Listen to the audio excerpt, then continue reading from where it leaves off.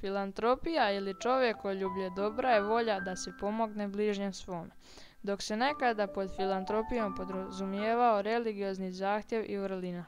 Danas se podrazumijeva aktivan napor da se promovira ljudska dobrobit.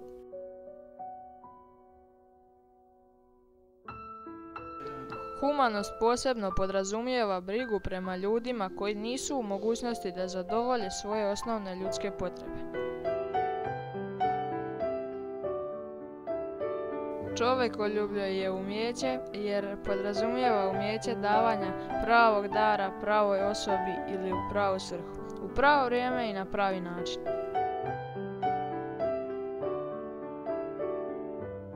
Stjecati ne treba samo da bi se lagodno živjelo, stjecati treba da bi se darivalo.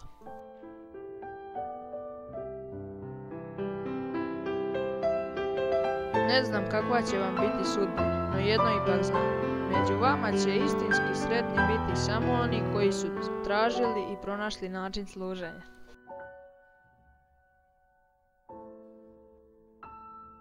Čovjekoljublje je davanje srca. Ima ljudi koji imaju malo, a daju sve što imaju. Takvi ljudi veruju u život i život na blago i njihove škrinje nikada nisu prazne.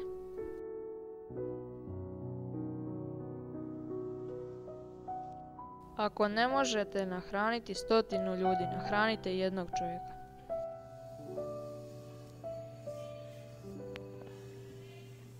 Nikoga još nikada nisu slavili zbog nečega što je dobio. Slava je bila nagrada za ono što je dao.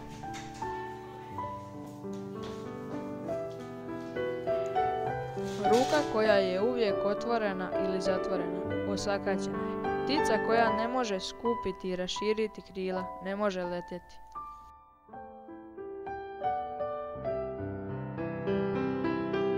Nekad je dovoljno samo utjeha i topla.